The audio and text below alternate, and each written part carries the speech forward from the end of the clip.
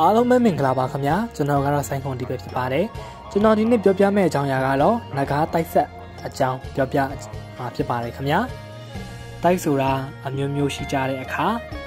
တိုက်ထဲမှာဗုဒ္ဓဘုရားအတွက်ဆောင်းလျှောက်ရသောတိုက်ဟာတကောအာနာအကြီးဆုံးဖြစ်တယ်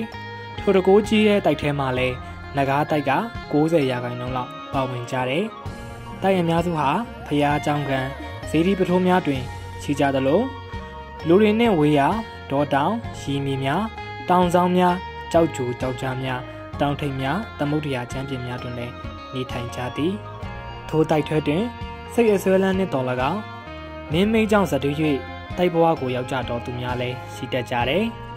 တိုက်ထွဲတွင် အတွင်းစည်းနှင့်အပြင်စည်းဟူ၍နှမျိုးရှိကြသည်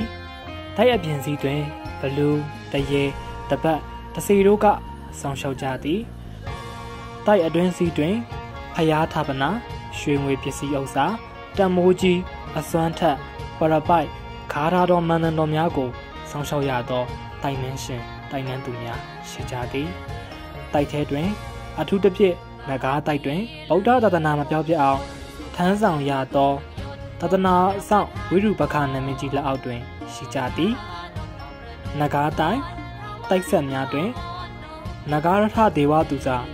နှင့် နဂါဘဘိုနဂါဘဘမှတိုင်နှင်းရှင်များအားမိမိမိခင်ဖခင်ဝေဖားလိုက်သောအခါ